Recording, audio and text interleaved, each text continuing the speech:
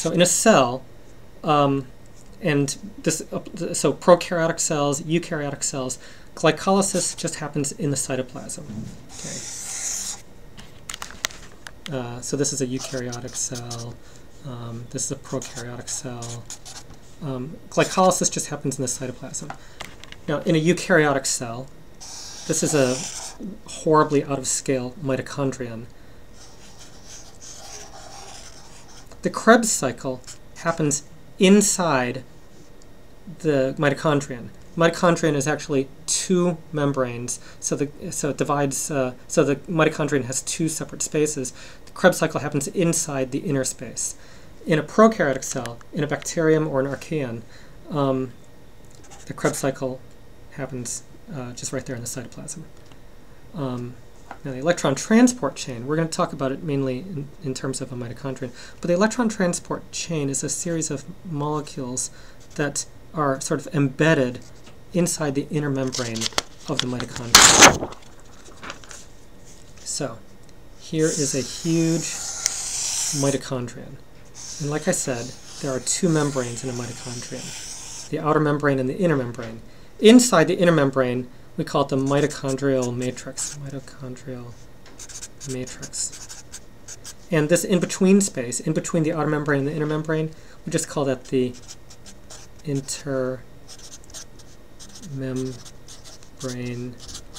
space.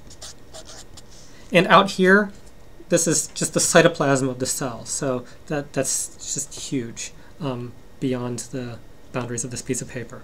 So this is the mitochondrion. And like I said, the Krebs cycle happens inside here.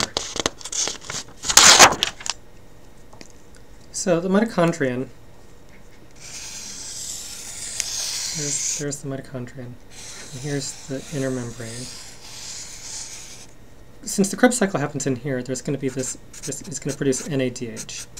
Now, NADH is a high energy molecule because it has um, an electron that it would that, that makes it less stable. Um, so if it can give up that electron to the electron transport chain, and in doing so, become NAD plus again, so that's an electron, then then this gets to take its more stable form. So this is one of those exergonic reactions, passing the electron to the electron transport chain. The electron um, is going to join this first molecule in the electron transport chain. The electron transport chain is just a series of molecules that are just really good at passing electrons from one to the other. Um, every time it passes the electron, the electron is a little bit more stable. It's with a molecule that is more electronegative, better at attracting electrons. And so every time the electron moves from one molecule to the next, it loses a little bit of energy. It becomes a little bit more stable. FADH2 is also a high energy electron carrier, and it's going to do the same thing. It's going to give an electron to the electron transport chain, and in doing so, it's going to revert to its low energy state, the FAD. So these molecules in the electron transport chain, embedded in the inner membrane of the mitochondrion, they pass the electron along, and the electron loses energy. That energy can be harvested, can be used by these molecules to do some work. So these molecules not only pass the electron along, but they take some of the energy from the electron and use it to do something. And what is it that they do? I'm just going to draw another set of molecules here. Um, they pump H plus ions, um, hydrogen plus ions. Um, they're also called protons because you know that's what a hydrogen atom without its electron would be. It would just be a proton. So it, it pumps protons from the inside, from the mitochondrial matrix, into the intermembrane space. So you can think of the intermembrane space as being really full of these H plus ions. That is really acidic, really full of H plus ions. Now this is a gradient. It's called a proton gradient. Um, it's a sort of a charge and concentration gradient. And like any gradient, it's far from equilibrium. It's unstable. It's a high energy situation.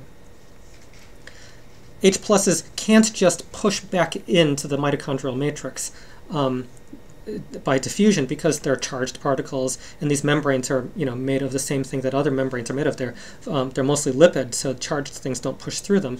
The only way they can get back through is through these these enzymes called ATP synthase. ATP synthase. And you can probably guess from the name that what the ATP synthase does is it allows the H plus back in. And when the H plus pushes back in, the energy that's released by alleviating that little bit of proton gradient, that little bit of what they call the proton motive force, um, by allowing that little bit of um, gradient to uh, be relieved, that energy is used to turn an ADP into an ATP. Okay, so um, so once again, ATP synthase. Let's a proton through.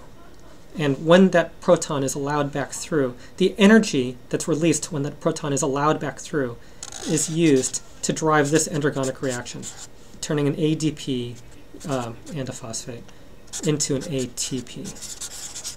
And so the energy, so, so the summary here is that it's really just a lot of um, energy transformations. Um, what we've done here is we've turned ADP into ATP. That's endergonic. Where'd the energy for that come from? Energy from that came from a uh, crowded proton being allowed to become an uncrowded proton. Where did the energy come from to, to make that proton crowded to begin with? Well, that energy came from, these energy flows. That energy came from um, uh, high energy electron being allowed to become a low energy electron. And where did that high energy electron come from? That came from NADH or FADH2.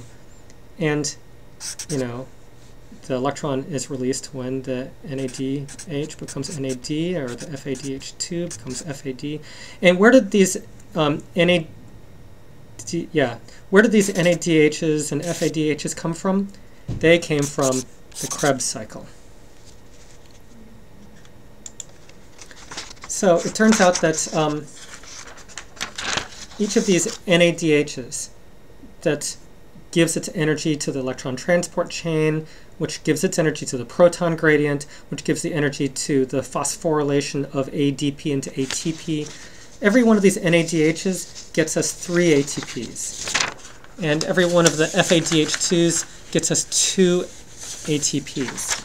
So, sorry, hope I didn't make anybody see these uh, shufflings. So if we look back at um, at what glycolysis and the bridge reaction and the Krebs cycle gave us, we have